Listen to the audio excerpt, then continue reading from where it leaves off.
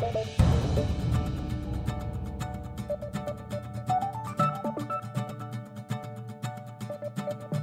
you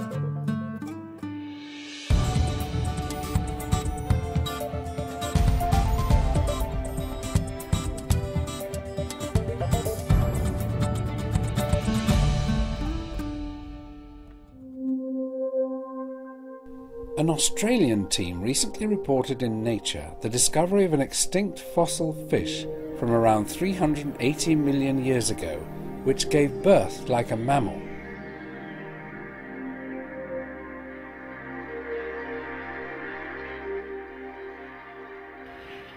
Now, their research, along with the Natural History Museum in London, has led to an even more significant discovery. We think this latest Nature paper is incredibly important because it's all about the origins of sex, sex in vertebrates, sex using copulation, males internally fertilising the females. And uh, that's intrinsically interesting, I think, to everyone on the planet. What inspired the research were fossils collected from a unique, remote site in Western Australia the Gogo Plain. Well, I love field work. It's just great getting out there with a hammer and smashing rocks and finding fossils. I've actually been working on this site, Gogo, in Western Australia, since 1986. And after 22 years of collecting, we've made some really amazing discoveries. The fascinating thing about Gogo is that you're actually standing in the reef. You're walking along the plain, which is the remnants of the sea floor, and on either side of you, you've got the towering cliffs, which are made up of fossilised algae and sponges. Fossils are the only evidence we have of past life, and especially this group the placoderms. There's no living representatives now, so it gives us a window into our past. So yeah, it's a good skull of a paleontologist. The truth is, though, that when you find something, you know, wow, I've, I've just found a fossil fish, but you don't really know what you've got until you bring it back to the lab and prepare it out. And that's where the second wave of discovery happens. Zerina Johanson had collected fossils herself from the Gogo Plain.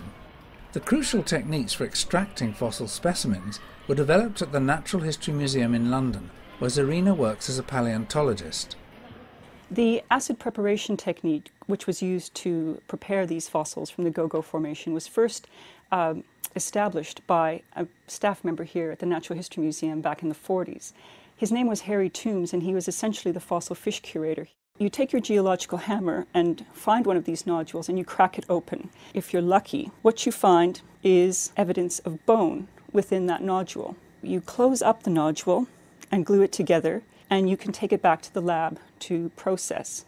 And you put it into a dilute solution of vinegar, of acetic acid. And the acetic acid eats away all the limestone, leaving the fossil fish behind. Recently, the acid concentration has been drastically reduced, so revealing soft tissues never before seen in such fossils. Because here inside the adult mother fish were the bones of a juvenile, an unborn embryo, and still attached to it was a mineralised umbilical cord, truly one of the most remarkable fossils found in the history of paleontology. Finding an intact umbilical cord is what proved that Materpiscis gave birth to live young.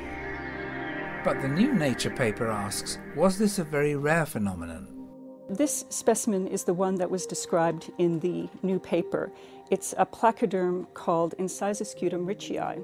These are the plates of a smaller placoderm housed within the body of the larger placoderm.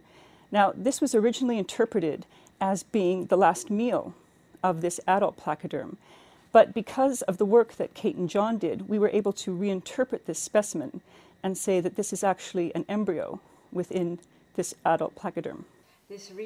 So they now knew that another group of fossil fish gave birth, but at first the researchers didn't see how these fish could have had the sex needed for internal fertilization. We'll prepare this one up next in the lab.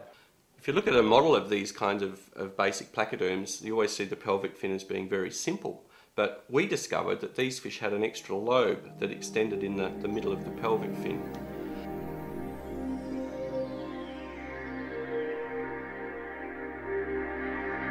Then the penny dropped. What John realised was that the extra lobe was the clasper the male fish used to mate with the female, just like a modern shark has. So in other words, these placoderms had a pelvic girdle modified for copulation. So, you know, we have an expression that uh, humans like to get a leg over, but these placoderms, they actually like to get a leg in. Kate and John, with their previous Nature papers, showed that you have internal fertilization in this group called the Ptyctodontida. But our new work shows that you also get internal fertilization or sex within this very large group of placoderms called the arthrodires. So it seems to be a more typical condition of the placoderms as a whole. And probably now we could say that it's a typical condition of jawed vertebrates as a whole. So finally, we had a model of how these fish were reproducing and the fact that internal fertilization and uh, viviparity was much more widespread in these early fossil vertebrates than previously thought. The fossilised remains of a 380 million year old fish, a placoderm, an ancient extinct group that's no longer around today. It's the origins of true vertebrate sex here back in the Devonian 380 million years ago.